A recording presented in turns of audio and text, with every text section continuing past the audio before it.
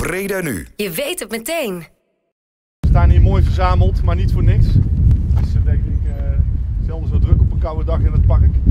Maar uh, we, staan, uh, we staan hier ook niet voor niks, omdat we wel iets moois gaan doen zo.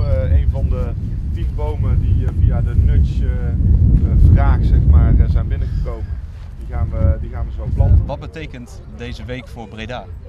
Uh, nou, deze week die betekent voor Breda dat we het groen wat we al hebben koesteren. En dat we ook uh, allerlei activiteiten uh, hebben in de stad. Om dat samen met, met de bewoners ook te vieren dat we zoveel groen hebben. Maar het betekent dus ook wat we vandaag hebben gedaan. nog meer groen planten in Breda. Zoals deze boom in het Wilhelmina Park vandaag. U heeft de plek uitgekozen. Ja. Ehm, ja, hoe, hoe verliep dat precies? Waarom uitgerekend deze plek? Nou, eh, een jaar geleden is hier, uh, er hebben hier vijf gestaan. En een jaar geleden werd hier een hele grote omgehaald en versneden.